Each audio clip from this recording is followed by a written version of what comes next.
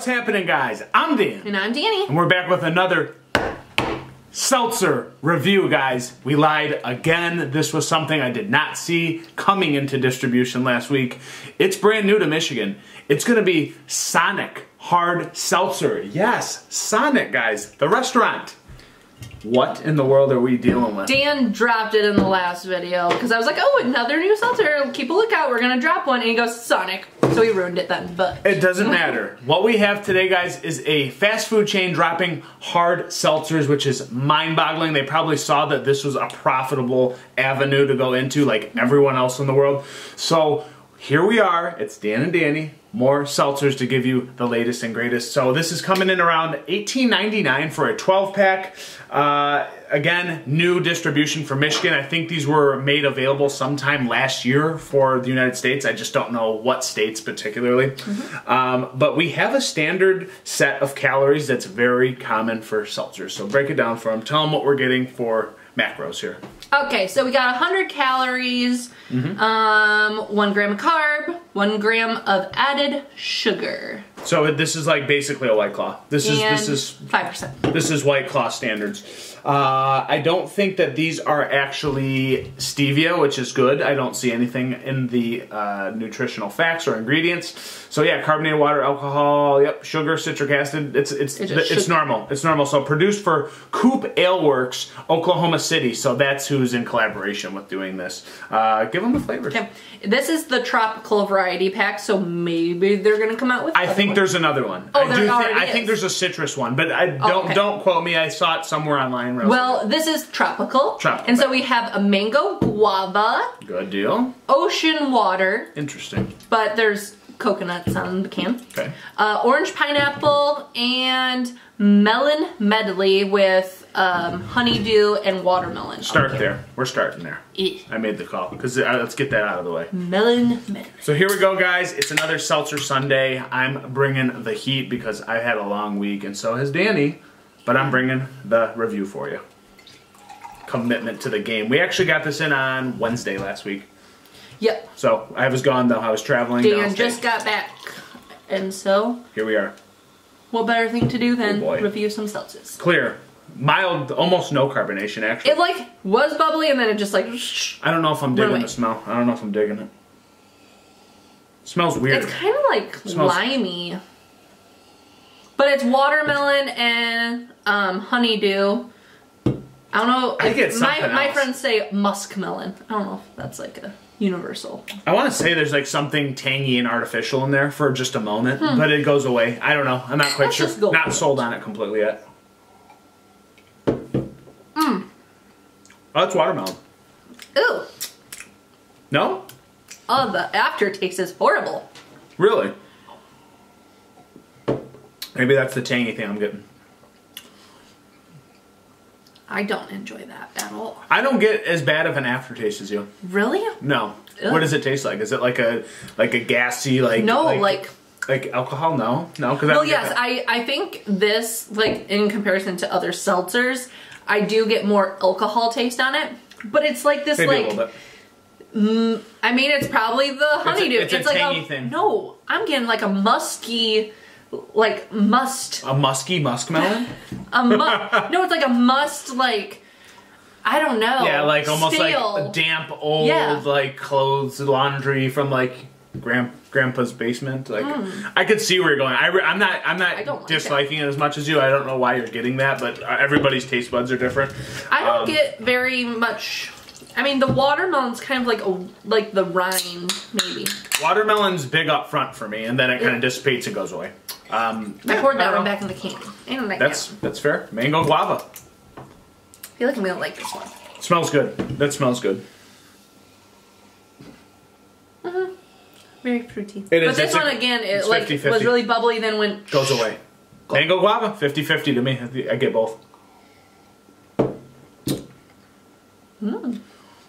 See, these are light. They have they have big flavor up front really quickly, and then it goes away. Like boom, gone. Like it's it's a it's a seltzer, absolutely, the way it finishes. Mm -hmm. I mean, it's not a um, artificial flavor back end, like with stevia or aspartame. I don't get any of that. So there is a weird like twangy tanginess that I keep getting on a lot of these Yeah. seltzers, and I don't know what it is in the brewing process that brings it or distilling process, whatever.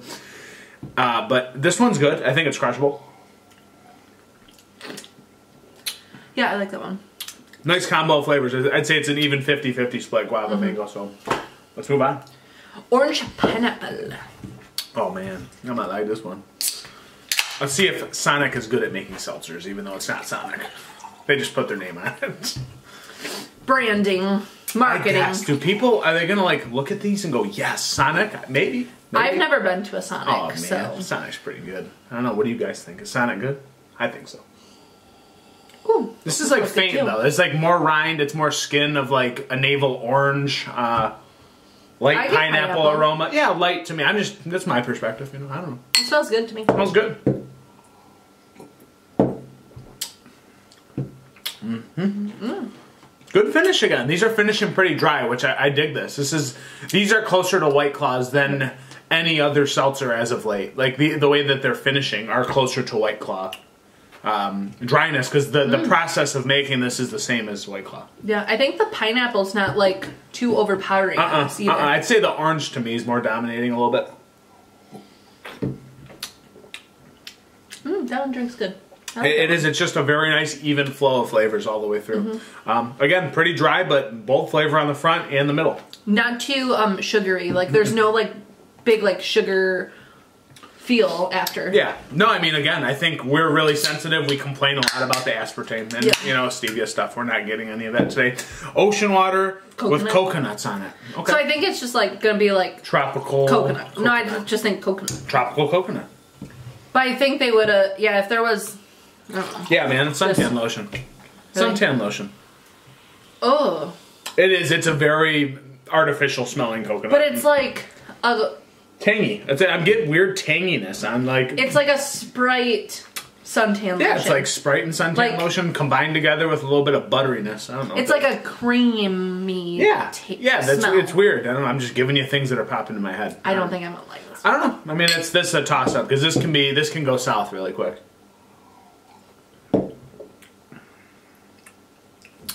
What is that? There's like some kind, there's some coconut. ki- there's some kind of like citrus or like um is it is it like papaya or is it like some kind of no? I don't think so. peachy papaya in here? What Okay. I will say it tastes a lot better than it smells. Mm-hmm, I don't think the coconut's like crazy on the taste. The There- smell is really off. There's something else in here, and it's like it's. I almost want to say it's like stone fruit and like lime. Like to me, stone fruit and lime, It does have a twang of like a lime. and then like this nice even flow of coconut. Like these, these. The one thing I say is drinkability is pretty high in these. Like they have nice flows, inflow and outflow of flavors. yeah, the the taste is better than the aroma. It's not bad. I mean, this this this is not bad at all. Hmm. Different. I don't know if it's my jam, No. but it's different, and I will remember that one. Like that. Yeah. That's something I don't see in normal packs. For sure. So I don't know if you're gonna rank them. I mean, I these are pretty good. Easy. Pretty good. Easy peasy. Orange pineapple first. I think you're right. Mango guava close second. Ocean coconut water third. And dead last melon medley. I'm gonna try that one more time. See what was really going on here. I don't know. I I will say though, I'm not a big usual usually a big watermelon fan. See, I these are growing on. Watermelon has grown on me lately. I don't get the the weird aftertaste that you're getting. I'm trying to find it. Like it's not. If there was one that finished the worst, I'd say it was Yeah. this one. Um, just because the flavors kind of get lost and muddled, and then there's a, a little strangeness on the back end that I, it's like a musty tanginess. Um, That would just be the one that I would leave at the bottom of the pack.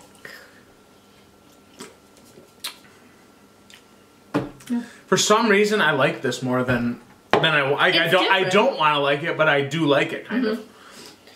It's different. I mean, like you you usually get your mango, orange, pineapple seltzers. That's what you usually get. This could be interchangeable for me, but I think that uh, the melon medley has the worst finish out of all of them. It's debatable. Anyways, I think I'm going to leave Dani's lineup because I believe in this, and I think you're correct. Um, guys, it's been the Sonic Hard Seltzer Tropical Pack. It's another seltzer review in the books, and you know what it is, guys. I'm Dan. And I'm Danny. We'll catch you on the next one. Cheers. See ya!